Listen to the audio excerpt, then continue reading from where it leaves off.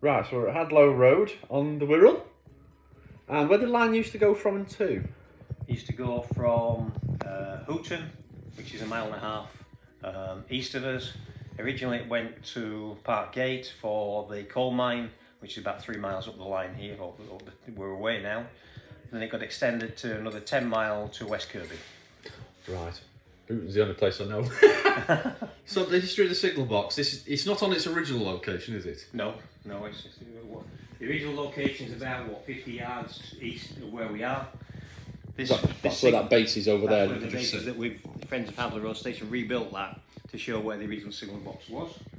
Um, and you can tell from the um, if you look underneath the platform, there's the the bridges where the tracks the do you call them? Oh, the rods and the wires. the rods and the wires came out from the levers. So did you move, manage to move it all in one go, or did you have to get a crane job?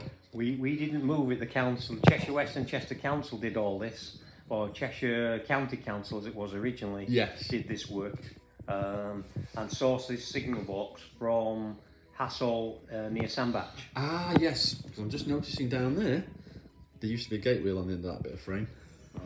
and they had they, that when when it was originally built, when it was there, it was two two levels high. Yes. Yeah, you'd is have the room downstairs with the one- wheels and locking. now one and a half Right, yeah. for whatever reason. So, So what's your so how plans? they how they moved it is an interesting question.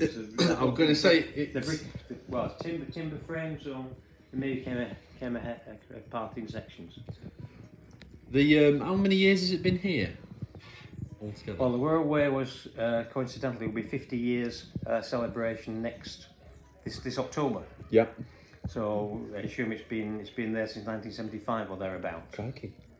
Fair time. As have the level crossing gates. They came from somewhere else as well, Yes. and they, they relayed the track. They put the track the down. such a little piece of track. Now, and friends of Hadlow Road Station relayed the track with hardwood sleepers and stuff like that. That uh, Yeah. we'd never do again. We, luckily, we got some um, people from Liverpool that were on training to go on the on National Rail with the safety and all that sort of stuff. So they came and And did the work for you. yeah. That's good. So do you open it to the public or is it just occasionally? We, we we were planning to connect a lever to the signal that we got Yeah. down by the gate, with a view to opening it up on a, uh, a pop-up cafe day Yeah. on a Sunday, so that children and adults could come in and see it. Um, because of the health and safety issues of because people walk on the track and, and it's not actually used, Yeah.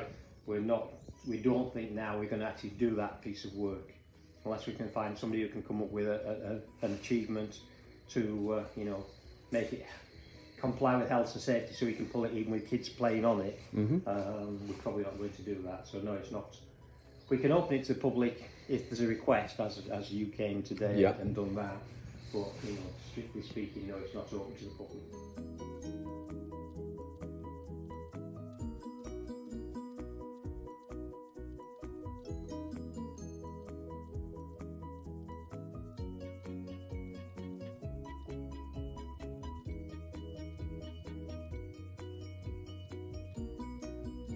we do open it we use it as Santa's Grotto once a year Yes. on this last year on the 11th of December, um, we had Santa sitting in his chair.